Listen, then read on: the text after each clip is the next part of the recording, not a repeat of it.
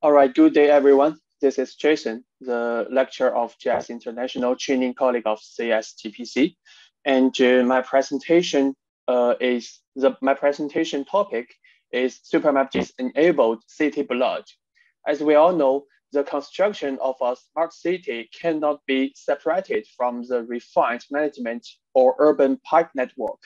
These pipe networks play different roles, flowing above and below the ground of the city delivering blood of the operation and construction of the city. However, with the gradual development of the city, managers have higher and higher requirements for pipe networks. At the same time, many problems are exposed, such as the underground space resources are becoming increasingly tense and uh, pipe uh, pipeline planning and management are facing several challenges. The refined level of pipeline planning and management needs to be improved, and the intelligent level of pipeline management is not compatible with the status of global cities. The current urban pipe network also has the following three features. They are arranged in a crisscross pattern, strong consonant and uh, high density. So in this report, I, we will also discuss how GIS can accurately manage the pipe network from the full life cycle of the pipe network, from planning approval to engineering pre-image, verification management to O&M, operation and maintenance. First, we need to create a digital base for the pipe network. In a three in a 2D map, it can be composed of basic vector data and high definition image data. In a 3D scene, we can rapid modeling based on rules, symbols, and parameters to create a digital base for a pipe network. In addition, we can also use many 3D data sources to express the surrounding environment. For example, the oblique photography and point clouds are used to express large-scale building on the ground. Mobile portable data are used to express the indoor environment, and BIM is used to uh, used to express the fine models. Next, let's take a look at the full circle application process of the pipe network.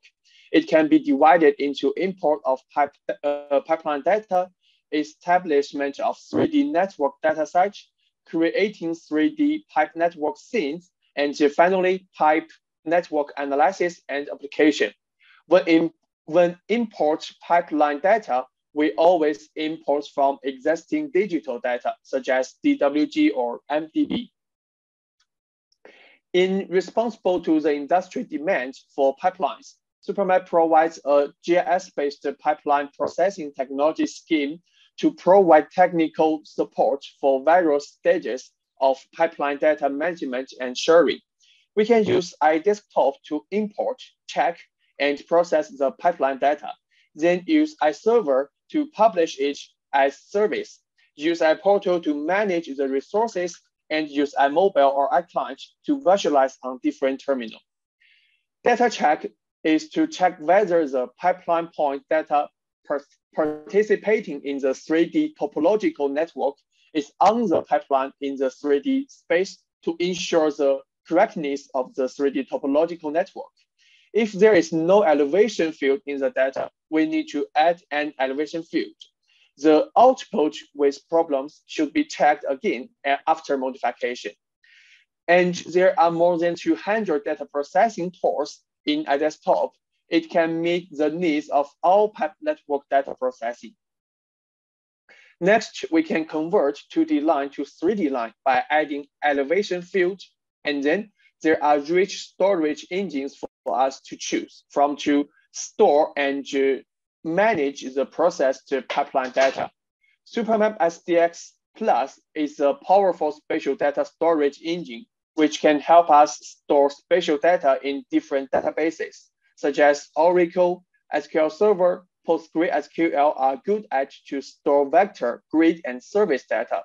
HDFS is good at to store unstructured data, such as video, feel, videos, files. And uh, MongoDB is good at to store tile data. After solving the problem of data import and uh, storage, we need to create the 3D network dataset and build 3D pipe network scene based on mm. the 3D line dataset. The 3D topological network dataset has no style of lines and points, and is mainly used to mainly used to represent the connection relationship of pipe networks so as to facilitate the subsequent spatial network analysis. We can use the pipeline symbols and pipe point symbols to replace the rendering method of line data sets in 3D scenes. Then add PBR materials to it to build more real, realistic 3D pipe network scene. The pipeline can be rendered as round and square tubes. And we can also construct a 3D pipeline like this. Next, the pipe points includes characteristic points, wheels, and uh, ancillary, uh, ancillary uh, facilities. We can automatically generate adaptive pipe point symbols. Then we can create the 3D pipeline scene like this. This is the 3D pipeline in outdoor and the 3D pipeline indoor. Also, the uh, after we create the scene of pipeline, we can uh, express this in multiple terminals. And multiple terminals can bring us different expre uh, experience uh, of mul uh, municipal facilities, such as the portable experience, light wet experience, cool experience, VR and AR experience, and the global experience. The last one of pipeline full circle application process is pipeline analysis and uh, applications. Users with different roles will have different application requirements for, pipe, uh, for pipelines. I've listed some of them here such as the cross-sectional analysis or upstream and downstream analysis. This is mainly used by the analysis of data topological relationship. And for facility operation management department, they always use the valve closing search or analysis of accident impact scope.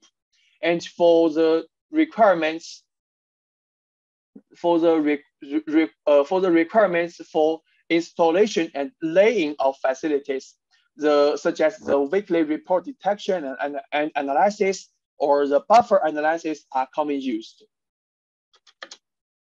We can divide the function of pipe network application into four stages based on the life cycle of pipe network. The first one is planning approval stage. There are many semantic map production, Euler shutter construction, status analysis, spatial query, and attribute query. As we can compare between the 2D, uh, 2D network, uh, 2D pipeline network, and the network in 3D. Also, we can compare between the, the vector data and image data. The buffer analysis can help us to find the close environment or close pipeline to the object we select. And the overburden analysis, uh, we can use it for a layout of municipal underground pipe gallery, the soil cover analysis. We can combine the 3D surface modeling and the 3D buffer, then uh, get the spatial relationship by intersection to get the highlight the model that doesn't meet the soil covering requirements. And the cross-section analysis can help us to draw, Suggest we need, we, we can draw a line to get the profile, the cross profile of this road and uh, to uh, understand how many pipelines and how deep are them under the ground.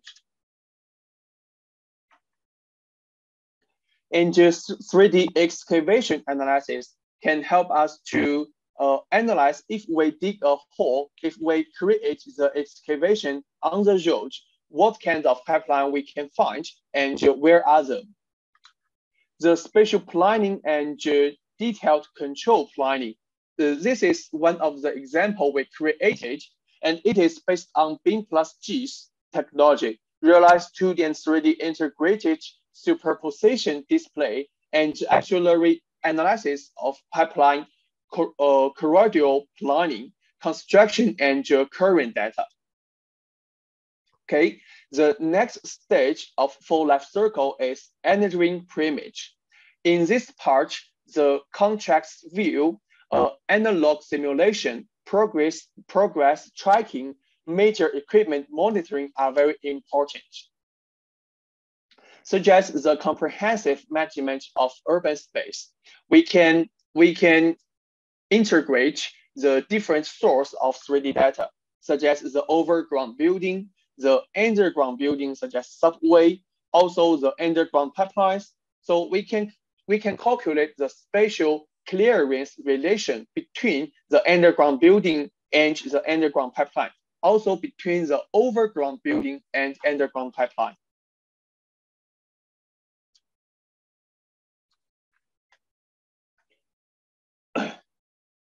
And the space components analysis, this, this, this function can automatically analyze whether the distance between the pipeline roads and uh, uh, adjacent pipelines meets the national standards and improve the speed and quality of design and approval. And also the dimension reduction calculation can be supported. That is, we can convert the pipeline data from 3D to 2D for some special user, uh, for some special usage. And the progress simulation can help us to simulate the progress of, of construction. We can know the current status of the building construction and the pipeline construction. Also, it can connect to the IoT and also can connect to the CCTV to get the real situation on the site, on site. The next one is verification management. The technology roadmap of verification management is like this.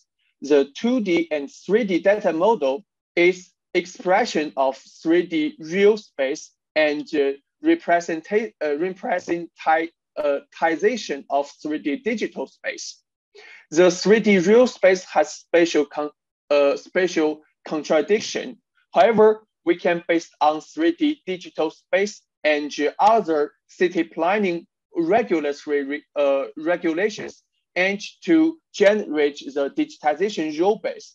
At the same time, a lot of analysis functions can build the digitization rule based on the models. Last, the digitization rule base can dissolve the spatial contradiction. contradiction. the last one of full, uh, full life cycle is operation and maintenance. We can query the facility information to achieve the facility asset management, such as the pipeline information, factory facilities information,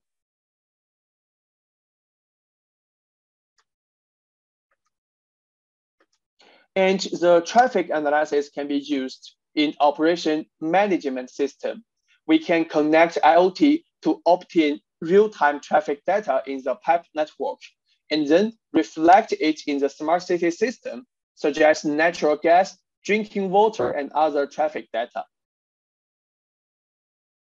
Also, the mobile partial intelligent connection can be used in the pipeline management system such as we can, based on the mobile, to scan the QR code to get the status and information of the uh, of the water meter, and we it can upload the uh, water meter number to the server automatically, and uh, it can also uh, integrate with the AR. We can use AR to create the smart city, the smart park application.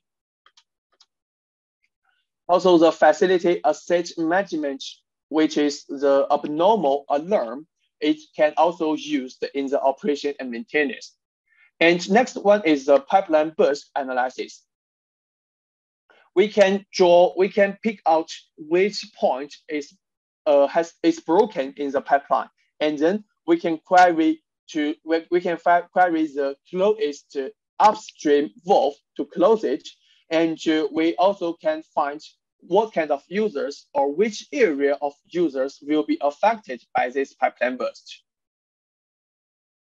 The last part of my presentation, I want to show you some real cases we did uh, over the world.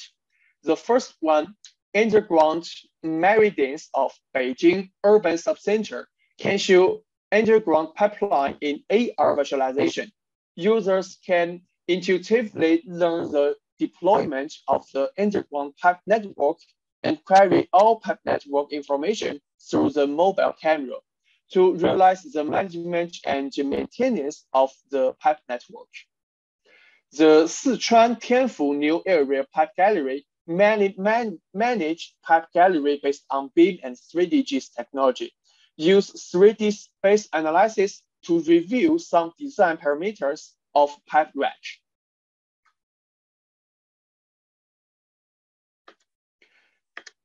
And the next one is the Nanjing Sewage Treatment Supervision Information Platform System, mainly achieve the supervision and management of construction and operation of sewage treatment facilities, collect sewage data for management analysis and evaluation of sewage treatment in the area. All right, thank you for your time and thank you for listening that's all of the content of my presentation.